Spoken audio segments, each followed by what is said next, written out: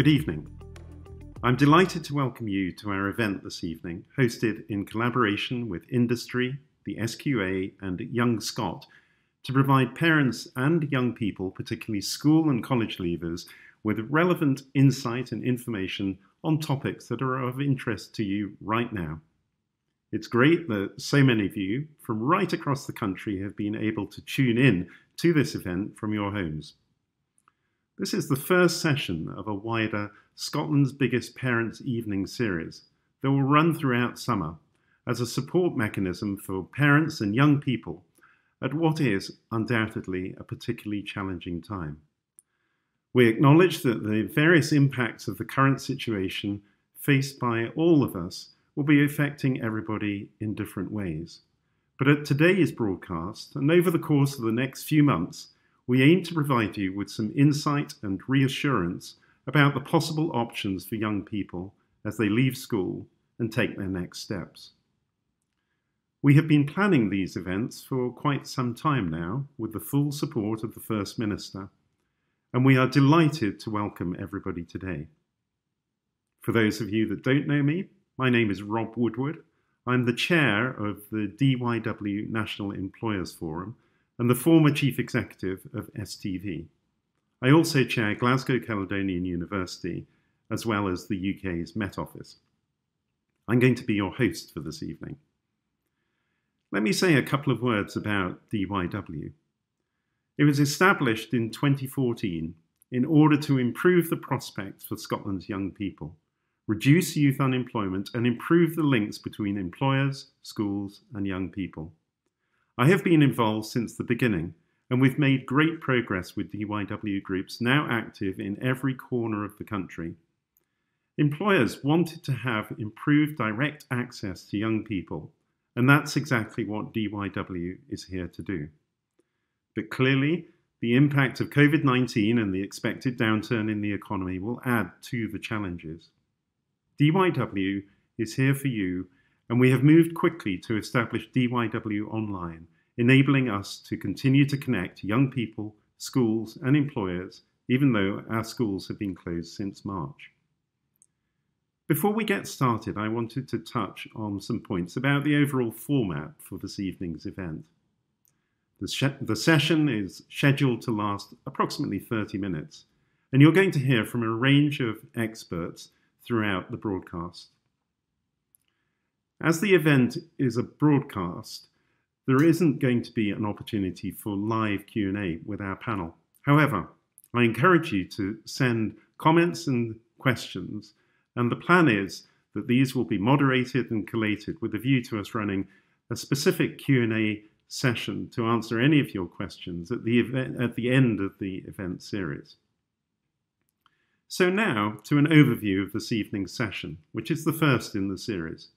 Tonight's event will help to raise awareness of the priority sectors and job roles which could present opportunities for young people transitioning out of school and looking for the first step on their career ladder. You will hear from various employer representatives about the types of key worker roles that are keeping the nation going, and we hope that this inspires you and your young people to consider these pathways if you haven't already done so. We understand the impact of the pandemic on education and on exams in particular. We're sure that many of you have wondered how the exam assessment process will impact you, which is why we felt it important to enlist the support of the Scottish Qualifications Authority, or the SQA as it's better known, to provide an overview of the exam assessment process, including an update on foundation apprenticeships. Another concern for many of us is the mental health impact caused by the current situation and the associated uncertainty about the future. We're delighted that Louise MacDonald, Chief Executive of Young Scot, has taken the time to join us this evening to provide some reassurance for young people that it's okay not to be okay. Louise will be able to help you to where you can go for more support in relation to mental health and well-being. Finally, as an industry led network of regional groups, whose aim is to connect young people with employers, we wanted to ensure that you heard from an industry representative. We're delighted that Craig Martin from the C&C Group, a leading manufacturer of premium branded drinks, including Tennent's, Magners, and Bulmers, is here to enlighten you as to the various ways in which skills can be developed through the many pathways that are available to help you achieve your ultimate career destination. We hope this event will provide you not only with some food for thought, but also with some clear advice and guidance about the various types of support that are available to young people and their parents in these unusual times. On that note, I'd like to introduce the first part of our event, where you will hear from employers across a range of priority sectors, including health, digital services, retail, and logistics. I hope this provides some inspiration into the range of career paths that are in demand right now. Hi, my name's Ailey and I'm a technology apprentice at Sky. Not to be cliche, but technology is the future. We are surrounded by it. TikTok, gaming, YouTube, Netflix, we use them every day. So now more than ever is a time to be involved in technology. Technology really was my calling, and ideally I wanted to work at Sky. I didn't know how to do that though, as I had no qualifications and no technical work experience, until I stumbled upon their apprenticeship program, which proved as long as you have a passion for technology and a willingness to learn, they'll pull you in. And I'm now a technology apprentice in the infrastructure department. It's a great place to work. The perks are amazing. On my first day of the apprenticeship, they flew me down to London to see the Sky campus and that's where Sky Sports and Sky News are filmed out of. You also get free Skies, movie, sports, anything you want. Plus, Sky is also owned by Comcast, who own Universal, which means you get free friends and family passes to Universal Theme Park in Orlando. Can't wait to go over there and enjoy that. I'm Charles Hammond, I'm the Group Chief Executive of Forth Ports Limited. I wish you well in the start of your career and please be aware there are many exciting opportunities within our business. I started with Forth Ports about seven and a half years ago as VTS, which is an operator level position. Since then I've worked my way through various different positions within the Marine Department. There's a lot of support and, and encouragement to, as I say, put yourself out there and, and, and develop. Um, and the, when the roles become available, there certainly is an opportunity for you to apply and you're encouraged to, to put yourself forward for the roles. Forth Ports have a development programme in place for the Marine team, which I followed. So I went from VTS through to Marine Officer, Assistant Harbour Master, Deputy Marine Manager, and then on to the role of Harbour Master. My name's Louise. I'm a Trade and Support Manager for Argos. I'm 24 years old from Kirkcaldy and I've been with the business for about six and a half years. I've learned so many new skills since starting as a customer advisor at weekends. Progression in this company is encouraged and there are many learning tools and programmes available. I've completed Argos's development programme which was called Retail Academy 1. This supported me in developing the correct behaviours to ensure that I became such a strong le leader. My career goal is to become a successful trading manager in one of our successful hubs and then on to become a store manager. My advice to anyone considering this industry and their future career would be that in retail, it's constantly changing, so you need to be able to adapt to that change very quickly. You'll meet so many new people and you'll learn so many new skills for life. You'll have new learnings every day with many different options and avenues to progress in this company. NHS Scotland has almost 170,000 staff and we serve a population of almost 5.5 million people. We are the largest employer in Scotland. Just over half of our staff are clinically qualified. But did you know that just under half support those clinical roles and also provide critical and crucial support to our infrastructure? Skills come from many experiences in life, not just those that you pick up at school or college. We may be in unprecedented times, the NHS may be facing some of the biggest challenges that healthcare has ever seen. But this also means that there is great opportunity to join the NHS at a time when you can really make a difference.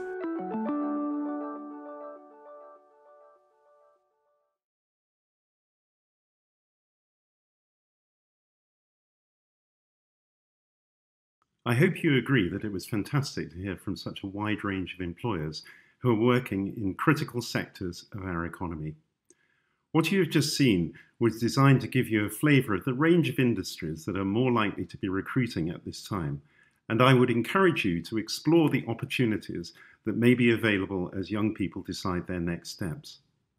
I'm now going to move on and introduce our next speaker for this evening. I'm delighted that Alistair McRae, Head of Business Development and Customer Support for the Scottish Qualifications Authority, the SQA, has been able to join us for this evening. The SQA sits at the heart of our education system and is an organisation with two main roles firstly, accreditation, and secondly, awarding qualifications. Alistair is going to provide an update on the exam assessment process, which I'm sure is something that you all want to hear more about. So, over to you, Alistair, and welcome to this evening's event. Thank you, Rob. I'm delighted to be able to support this event on behalf of SQA, and I hope the information I'm about to supply is useful for everybody listening in. Now, with this year's exams being cancelled and schools and colleges closed, we realise that 2020 has been and continues to be a very challenging and worrying time for all learners, parents, and carers. So, following the latest public health advice, SQA is basing its decision this year on three principles fairness to all learners, safe and secure certification of your child's qualifications, and making sure that the qualifications your child achieves this year are equal to any achieved in the past or in the future. For those of you whose children were due to sit National 5 Higher Advanced Higher exams this year, we've been working on an alternative way to ensure your child's hard work is fully recognised through our qualification system. We've been working closely with schools, colleges, where teachers and lecturers from across the whole of Scotland have provided over half a million estimates. These grades have been based on the wide range of work that your child has done in class, as well as the teacher or lecturer's professional judgment. This data will allow us to look at the reasons behind any apparent changes in the pattern of attainment in comparison with previous years that are reflected in the estimates submitted by schools and colleges. We're also working with subject specialists to check the data from across the whole of Scotland to ensure the results your child receives on Tuesday the 4th of August are fair. I would encourage your child to sign up to MySQA if possible so that they receive the results by text and or email as well as by post. Now, many of our learners are studying SQA qualifications that don't have an end of year exam. These qualifications include higher national, national certificates, national progression awards, and freestanding units. We ask teachers and lecturers to use their, their teaching knowledge as well as the work that your child has already completed to make a professional judgment on whether your child was likely to achieve their qualification. We work very closely with Colleges Scotland to support lecturers in using their professional judgment in making assessment decisions based on your child's progress and achievements. If your child is concerned with the results they receive, they must first speak to their school or college. We will have a free appeal service available for those who are due to sit National 5, Higher or Advanced Higher exams and whose results were lower than the estimated grade submitted to us. This service will enable your child's school or college to request a review of the grade. As we do every year, we will give priority to requests regarding those learners needing a result to secure a conditional place at college or university. And some of you have been in touch with us about uh, your child's foundation apprenticeships. As its qualifications are a blend of classroom and workplace learning, the COVID 19 restrictions on work placements have impacted on completing the work based elements as well as the associated assessments. We've worked in partnership with Colleges Scotland, Skills Development Scotland, and University Scotland to find the best solution possible for those doing a foundation apprenticeship. Learners who have completed and passed all elements will receive a foundation apprenticeship certificate as normal. Learners who passed the National Progression Award or National Certificate element by the 15th of July this year, or who have no fails recorded against any of the units, will receive a certificate for the qualifications they have achieved. They will also receive a letter of recognition which can be used for entry requirements for college and university courses. Any learners who have not achieved the National Certificate or National Progression Award or who have fails will receive a certificate for the elements that they have passed, but will not receive a certificate or letter of recognition for their foundation apprenticeship. Everyone at SQA remains committed to delivering your child's results in a fair way, allowing them to progress to further learning or work. We all want to ensure the class of 2020 can hold their heads high now and in the future, with their qualifications fully recognised as would be in any year. We continue to provide support and resources on our website that are dedicated to parents, carers, and learners, as well as teachers and lecturers. We are also working with national bodies such as the National Parent Forum for Scotland, Connect, Young Scot, and the Scottish Youth Parliament to share information on what is happening and when.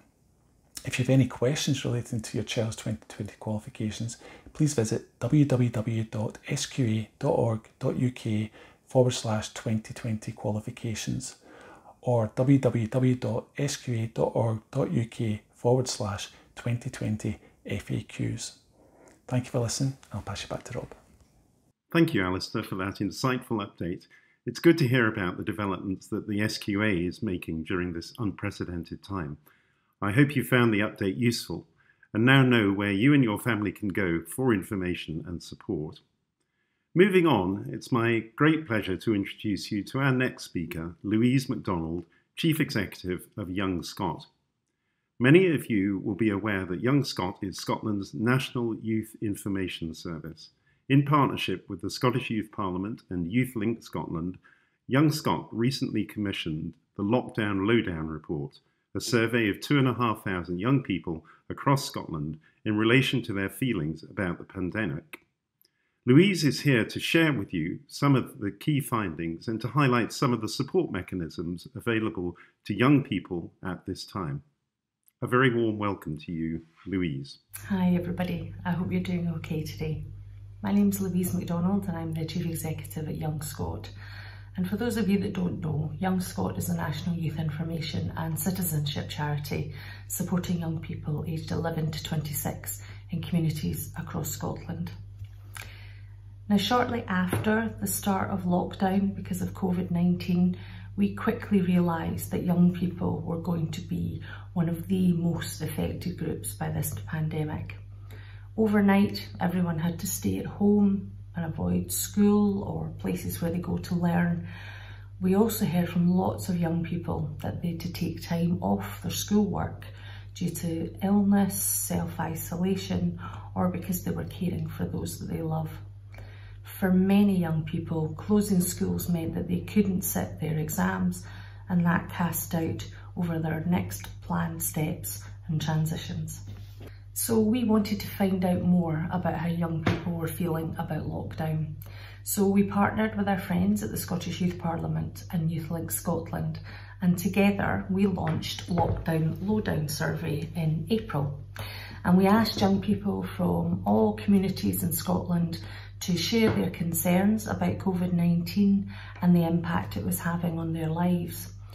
We launched this survey as we wanted to share the thoughts and feelings of young people with stakeholders who could use the information to plan policies or make decisions or plan services in response to the pandemic.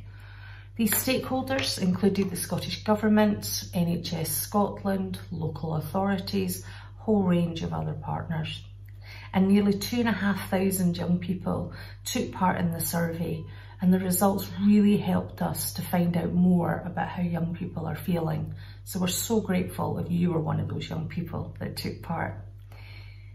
Some of the most interesting results included around half of young people said they were concerned about exams and coursework, two thirds that they were concerned about the impact of COVID-19 on their future, and so many said that decision makers should improve the impact on education and some wanted restrictions and lockdown to be even tighter to secure safety of those that they loved. Some of the most concerning results were around mental health though, with over 75% of young people telling us that they worried about their mental well-being. And what's also interesting is that older young people were more concerned about their mental well-being than younger people, with 63% of respondents over 18 years of age telling us that they were moderately or extremely concerned. And two-fifths of respondents also said to us that they didn't know where to go to access information regarding support for mental health and well-being. Since then, we've been encouraging young people to keep submitting their questions and concerns on a weekly poll on our Young Scot Instagram account. And this is helping us to track key issues and we're producing digital youth information to help young people in response to this. Also, thanks to Scottish Government support, we recently launched Aye Feel, A-Y-E, Feel, a dedicated emotional wellbeing site hosted on young.scot. This site has information and resources which help you to understand that it's perfectly normal to be dealing with anxiety, fear, uncertainty, anger or sadness during such difficult circumstances. And this site has quality assured information, expert advice, content made by young people for young people, and links to places to find emotional support. It also includes information on how things like sleeping better, managing stress, productive ways to spend time online and coping with conflict can all help. We've worked with Sleep Scotland, for instance, and created tips for sleeping well. Sleep is always important for our emotional well-being, but it's hard right now to stick to a routine. Young people on our Young Scot and Sports Scotland sports panel have also created great Instagram content on ways to stay active during lockdown and how to use sport and physical activity to improve your emotional well-being. It's fascinating stuff, so please do take a look at that. Also, if you or one of your friends needs a bit of emotional support, it's always good to know who to turn to. And it's so important to talk to someone and get more help and let them know how you're feeling. This could be someone in your family, another friend, your GP, or by calling a helpline. So the Aye Feel section on young.scot has lots of information on who you can contact, whether that's by phone, email, or message. The most important thing though is that you do reach out and talk to someone and then take up the offer of help that's given. So do take a look at young.scot to find out more about everything that I've talked about today. You can also follow us on Snapchat, Instagram, Facebook, TikTok and YouTube. We're on all of them and we'd love to see you there. Thanks so much for listening today. Take care. Thank you, Louise, for sharing those valuable insights with us, and I hope that you can make use of some of the information sources that Louise referred to. We're now going to move on to our final speaker for this evening, Craig Martin. Craig is the head of HR operations at the C&C Group, which you may know better as the manufacturers and distributors of premium drinks such as Tennent's, Bulmers, and Magners. Craig is an industry leader and expert in human resources. We're also fortunate that he dedicates his time to chairing the DYW group in Glasgow. Craig is here to share his insight into the ways in which young people can prepare for their future. Over to you, Craig. Clearly, it's been a really difficult time for both uh, pupils uh, and parents um, due to these challenging conditions uh, brought about by the, the COVID crisis, um, particularly those pupils who are in senior phase of school. Um, they've had exams cancelled, um, a lot of nervousness uh, about the economic situation. Uh, parents as well have had a lot of pressure. Um, a lot of them have had to engage in homeschooling, uh, and clearly any, any parent has got um, deep concerns about uh, the future prospects for um, their, their, children as either enter into further education, uh, higher education, or indeed the, the job market. Um, what I wanted to do today was just really to share with you um, some benefits of a career in HR, uh, and particularly with regard to employability. Uh, been involved in a lot of recruitment over the years, particularly of uh, young young people entering the job market, and through that time, um, hopefully built up a lot of skills and knowledge in terms of what uh, employers look for. Um, and what I want to be able to do is to try and give you guys as parents um, some skills, some takeaways today um, that you can share with your, your children and to hopefully give them a competitive advantage as they enter into this um, tricky, challenging job market. Um, it's, it's clear that we're about to enter into sort of tougher times. Um, in Scotland, we've came from a situation of um, record employment, um, which is a really good thing, uh, into um, a, a, sort of sharp downturn. If you look at the economic forecasts, that is predicted to, to be the case. Um, when you when you enter a recession, the conventional wisdom is always to stay in education longer, and I know a lot of your parents will be um, having those discussions uh, with your children. Um, but there'll be also um, some uh, children who want to go on with their careers and enter the world of work. Um, so both are, are, good options, and it's important that for those choosing the latter, uh, give themselves every fighting chance of landing one of those opportunities because there'll still be opportunities in there, out there. They'll be uh, a bit more limited than there has been over the last few years, um, but there are a lot of sectors still buoyant and still recruiting. Um, so it's important that um, share with you some of these sort of almost like an insider's guide um, so you can take advantage of that. And we look to try and hire people who have passion, enthusiasm, and a positive attitude. Um, that's a particular bugbear of mine. Uh, I want to be surrounded by people with those traits. And if you flip it on the other side, now why would you want to work with someone who's lacking in passion, lacking in enthusiasm, and has got a negative attitude?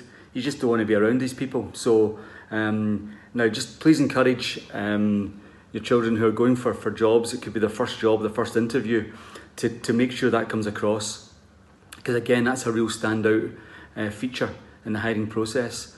The other key uh, aspect is all about uh, customer service. Um, everyone's got a customer. Sometimes it's less obvious in other businesses than perhaps retail and hospitality, but you have to develop that customer service mentality. Um, it's a vital skill to have, and it's one which you can easily gain through um, part time employment or, or volunteering. Now, lastly, I really want to talk about um, collaboration. Um, now, we used to call it teamwork. It's virtually the same thing, but it's that whole society uh, is embracing it a lot more these days. But certainly in the workplace, um, you have to be willing to co- collaborate, both in, t- in terms of sharing your ideas um, and your thoughts, but also being receptive to other people's ideas and thoughts. So, where do you get these skills? Um, the good thing, a lot of them uh, is based around attitude. So um, doesn't cost uh, any money to get. It's all about having the right mindset. There's other things you can do. Um, volunteering, uh, I've mentioned that previously. That's something which uh, employers look for uh, in a CV. It demonstrates um, now willingness and helping others, uh, and can be a standout feature in a CV. And also, it gives you something to to speak to uh, and relate to during an interview. And also, part-time employment um, is going to be a little bit trickier now with the changes in the job market. Um, however, again, that's a, a great. Uh, we always look for for, for um, people who have when out there sought out part time employment. They quite often develop a, a, the, the skill sets we're looking for in terms of collaboration and customer service skills. So again, that's something which I would encourage you to do as parents is to um, get your children out there to try and secure part time employment. So um, that's all I have to say. Um, I appreciate it's a, a really tough situation out there just now. Um, but things get better, and hopefully they'll get better uh, fairly soon. Um, there is always opportunities for people with the right attitude. Uh, that's been my experience. Um, I've had the benefit or the, the challenge of working through a couple of real um, difficult uh, economic situations, and we always get out the other side. Um, so it's a question of getting to it with the right attitude, uh, and hopefully some of this um, hints and advice will help um, you be able to pass on to your children to help them um, approach this challenging situation. Thank you. Thank you, Craig, for what was a very positive outlook on skills development and pathways. In fact, it's now time to extend my thanks once again to all of our speakers for the insights which they have given you, which I hope that the viewers at home have found useful. It's been great to hear from such a range of speakers, and I really hope that you've found the messages this evening helpful, particularly for those of you who are just leaving school or college and preparing to start your career. I wanted to finish off by highlighting that you can now go onto our national website, dyw.scot, for further information and resources. Here you will find information about our DYW Skills Academy, which we are delighted to announce. This is a fantastic package of support developed by the DYW network in partnership with employers, designed to support school leavers to get industry ready. It offers skills sessions, e learning, CV support, and more. You'll find out more information at dyws.scot, and I encourage all young people, and particularly school and college leavers, to sign up for these sessions. As I referenced at the beginning of the event, this session was the first of several in a series, and I would encourage everybody who took the time to participate in today's session to sign up for the other events in the series. The next one is going to take place on Tuesday, the 21st of July at 7 pm. More information about how to sign up is also available on our National DYW Scotland website. Finally, I would like to extend a huge thank you to you, our audience at home, who have taken the time to join our session this evening. I look forward to seeing you again and join us at a future event. Look after yourselves and remember that DYW and all of the organisations that you've seen represented this evening are here to help you. Good night and see you again soon.